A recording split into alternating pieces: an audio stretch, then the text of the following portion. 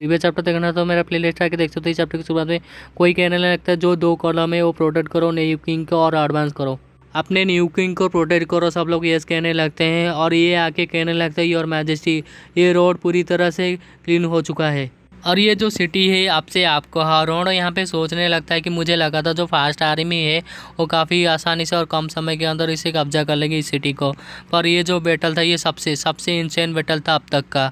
और यहाँ पे जो काजुलिटी था, वो अभी अननोन है पता नहीं आखिर कितने लॉसेस हुआ है यहाँ पर।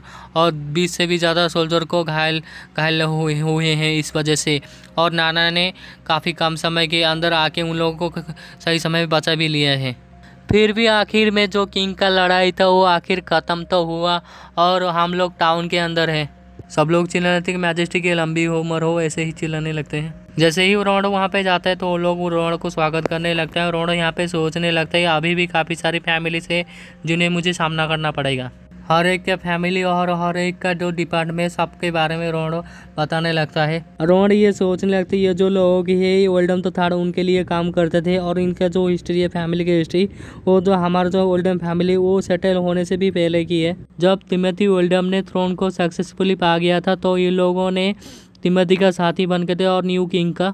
और ये लोग सेम प्लान करने वाले और ट्रिक करने वाले हैं अपने प्रैक्टिस के हिसाब से। पर ये जो बात है, मुझे इन लोगों की बिल्कुल भी ज़रूरत नहीं है और जो नेगोशिएशन और जो ये ट्रायल है, वो इस तरह से तो नहीं होने वाला है।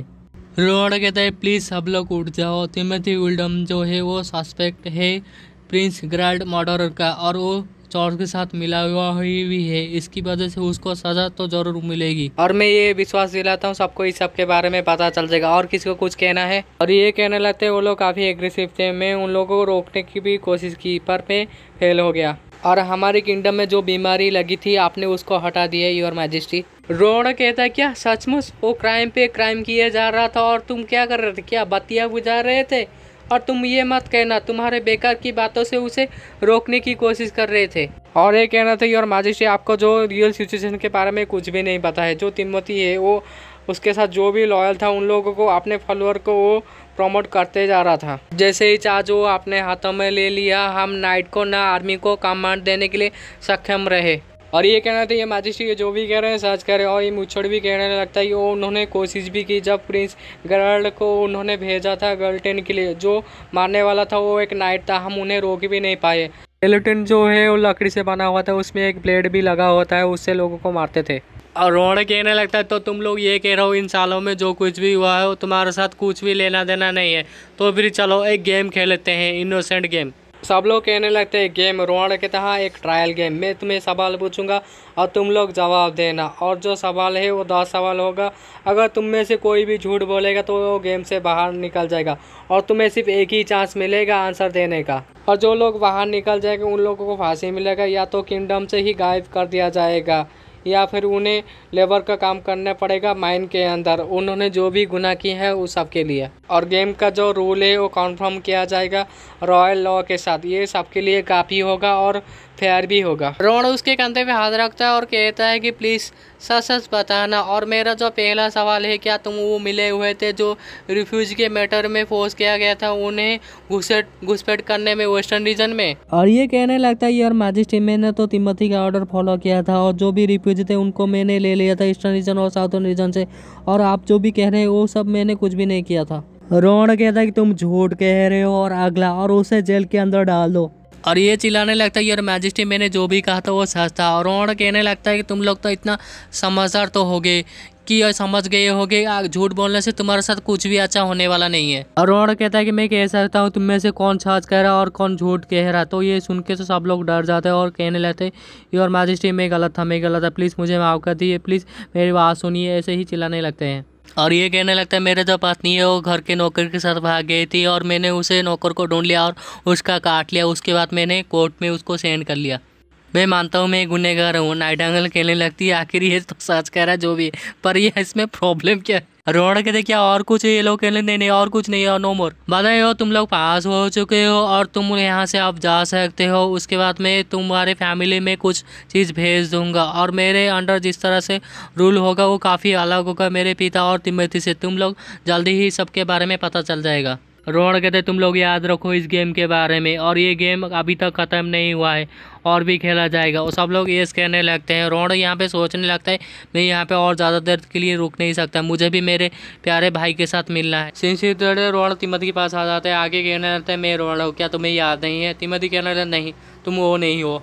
तुम कभी भी इस तरह से मुझे नहीं देख सकते, मेरे आँखों में तो कभी भी नहीं। रोना कहता है हाँ तुमने तो ये कहा था कि तुम कभी भी मेरा सामना नहीं कर पाओगे। मुझे ये याद है, जब मैं बारह साल का था, तब तुम क्रेसिया और गैरल्ड मुझे इनवाइट किया था एक्सप्लोर करने के लिए प्लेसमेंट को उस प्लेस तुमने गार्ड से चाबी चुरा लिया था, उसके बाद तुमने मुझे उसके अंदर डाल दिया और तुम अगले सुबह आए। आगे मेरे साथ मज़ा करने लगा। मुझे लगा कि तुम मुझे ट्रीक कर रहे हो और मैंने ये सब रोकने की भी कोशिश नहीं की। मेरे पास इतना हिम्मत ही नहीं था तुम्हारा सामना करने का।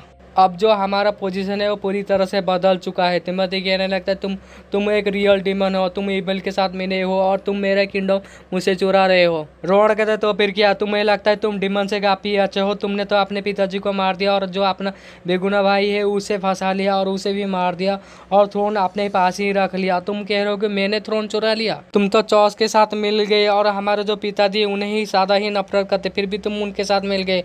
और बेगुना लोग और उनका जो डोमेन है, उनके के अंदर तुमने घुसपैठ कर लिया, उनके ऊपर आक्रमण कर लिया। प्रिंस गैसिया और यहाँ तक कि तुमसे जो कमज़ोर है, सब पावरलेस है। तुम्हारा जो भाई प्रिंस रॉड तुम्हें उसे भी यहाँ तक नहीं छोड़ा। तुमने तो सिर्फ़ एक ही साल के अंदर काफ़ी सारे सिटीज़ और पूरे किंगडम को इस तरह से तबाही में लेके आ गए और काफ़ी सारे लोगों को तो बेघर कर लिया। यहाँ तक डिमन भी इस तरह से नहीं करता है। तिमत कहता, नहीं, मैंने हमारे पिताजी को नहीं मारा है। वो अपने आप को ही मार दिया तुम्हारे जैसे। और वो कंट्रोल में थे डिमन के। रोहन कहता है सुसाइड तिमती कहता हाँ और मैं झूठ नहीं कह रहा मैंने देखा था कि वो बेड में पड़े हुए हैं और उनके दिल के अंदर चाकू है और उनके मुँह में मुस्कान। और वो गॉड स्टोन पहनते थे और उस समय जो भी हुआ था वो कुछ भी नहीं पहने थे और मैंने उन्हें रोक भी नहीं पाया। रोड कहता है कि शायद वो अटैक किया होगा एक मैजिक विश से और जो वो परफॉर्मेंस किया होगा अपने मैजिक पावर को उसके ऊपर जो गॉड स्टोन का इफ़ेक्ट भी नहीं हुआ होगा। नाडेगल कहने लगी और हाइनस की आपको यादें भी और जो कैप के अंदर उस समय घुस गया था वांडी को मारने के लिए रेफ्यूजी कैंप पे आधा साल हो चुके हैं। नाइडेगल उसके बारे में कह रही है जो फेस चेंज कर रही थी। रोहन कहता है कि सबसे पता चल रहा है, चौस का जो लक्ष्य था वार और क्योस और तबाही लेके आने में ये चौस क्रिएट कर रहा था। इस तरह का सिचुएशन था कि जो क्राउन का सिलेक्शन हो, इस तरह से हो। फिर हम इस सबको कंफर्म करने के लिए जो हाई प्रीस्ट है रॉयल कैथेड्रल सेल्बा इसे इंटोरोगेट करना पड़ेगा और उस तरह से हमें सारे आंसर मिल जाएगा। रोहन कहता है तो फिर क्या हुआ? अपने आप को निर्दोष बनाने की कोशिश भी मत करना। तुमने गैरल्ड को प्रेम किया और काफ़ी सारे वार भी किया है। काफ़ी सोचे हो तुम्हारी वजह से काफ़ी सारे लोग किस तरह से मरे हैं? तिमती कहते हैं, अगर क्या होता, अगर वो सारे पील का मैं यूज़ नहीं करता तो कौन गारंटी देता? ग्रेसिया भी उन सारे पील की यूज़ नहीं करती। अगर वो सारे मान जाते कि मैं किंग हूँ पहले तो इस तरह का तबाही नहीं हो सकता। आखिर तुम्हारे जैसे डिमन के साथ कैसे? आखिर मैं तुम्हारे साथ डील कैसे करूँगा? रोहन कहता है, मैं तुम्हारे सारे क्राइम को एक्सपोज कर लूँगा और तुम्हें सजा दूँगा, तुम्हारे गुना का और तुम्हारे हालत जो गरल जैसा ही होगा और तुम्हें भी मौत की सज़ा मिलेगा, पर ये इतना काफ़ी नहीं होगा तुम्हारे लिए। तिमोथी चिल्लाने लगते नहीं, तुम मुझे नहीं मार सकते। तुम्हारे जैसे डेमो तो कभी भी नहीं और लाइट के सामने कभी भी खड़ा नहीं हो सकते। जो पावरफुल डेटी है, वो तुम्हें खत्म कर देंगे। अगर तुम्हें किंगडम ऑफ़ ग्रे कैसल चाहिए तो तुम्हें मेरी भी ज़रूरत पड़ेगी। और तुम्हें ये भी नहीं पता आखिर चौर्स का जो ताकत है, आखिर कितना है। तुम ये सोच भी नहीं सकते उनका ताकत काफ़ी ही ज़्यादा है। और पिताजी ने काफ़ी सारे नोट उन सब के बारे में लिखा है। और इसी वजह से तो उन्होंने अपने मूव नहीं लिए थे चौस के खिलाफ अपनी ज़िंदगी में। रोड कहते नहीं तिमती तुम्हें क्या लगता है? तुम्हें मुझसे कुछ ज़्यादा ही पता है और सामने तुम्हारा जो रोड है, वो रोड ही है और तुम्हारा एबिलिटी तुम इतना ही दूर तक देख सकते हो और तुम्हारा ज़िंदगी यहीं पर ख़त्म होता है। तुमने जितने भी क्राइम किया और रिलैक्स तुम सिर्फ़ अकेले जो नहीं हो, वो हेल में जा रहा है। मरे हुए इंसान से और मुझे कुछ नहीं कहना है और मैं सब बाकी सब तुम पे छोड़ रहा हूँ।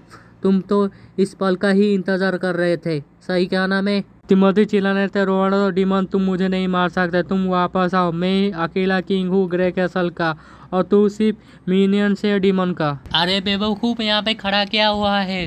रोहन को बोला, मुझे उसे कुछ कहना है। और ये सोचने लगता कि ये पहले राजा था। मुझे उम्मीद थी कि ये सबको अच्छी ज़िंदगी दे, पर वो और ये अपने बारे में कहने लगता है और ये कहता है कि मैं आपको जानता हूँ, पर ये मुमकिन नहीं कि आप मुझे जानते होंगे।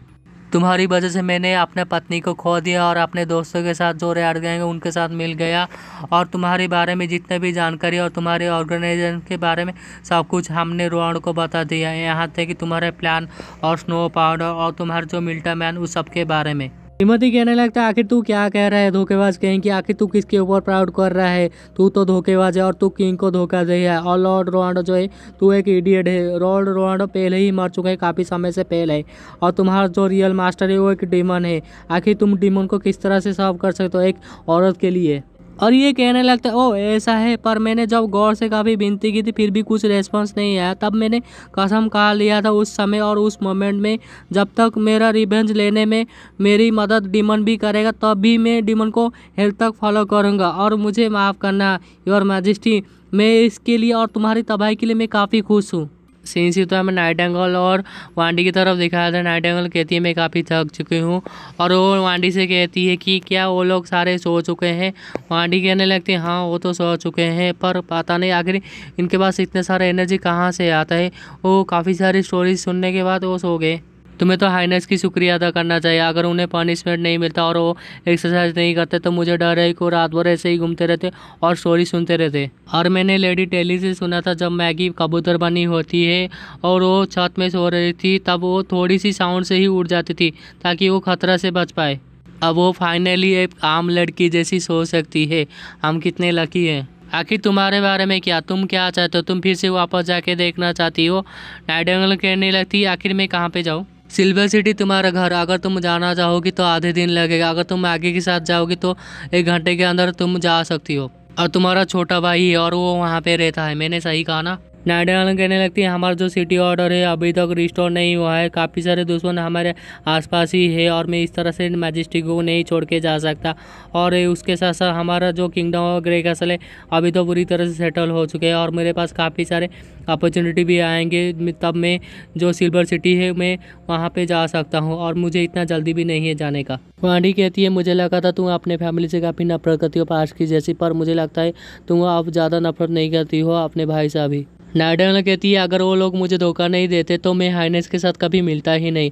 और तुम तो हमेशा कहती थी, पास को हमेशा भूल जाना चाहिए और उसे पीछे छोड़ दो उसे मिट्टी डाल दो उसके ऊपर। अब मैं समझ गई, आखिर सेकेंड हाफ़ उस सेंटेंस का क्या है। ये चलेगा जब तक मैं अच्छी ज़िंदगी जी सकता हूँ, पहले से भी। वांडी कहती है, मुझे लगा नहीं था तुम्हारे पास इतना अच्छी स्किल भी है। नाइट एंगल कहने लगती है, चलो, सो जाते हैं। नाइट एंगल सोचने लगती, फाइनली जो ये किंगडम ये हाइनेस ने ले लिए हैं और काश से मैं फ्रीली चल सकता हूँ ऑर्डिनरी लोगों जैसे। फिर भी ये नाइट अभी भी मेरे साइड में है। नाइट एंगल वहाँ से गायब हो कि यहाँ रोड के पास आ जाती है और सोचने लगती है, मैं सिर्फ़ अंधेरे में ही छुप सकती हूँ और जीने के लिए मेरा जो आइलैंड का नाम और मेरा हार्ट और यहीं पे ये चैप्टर ख़त्म।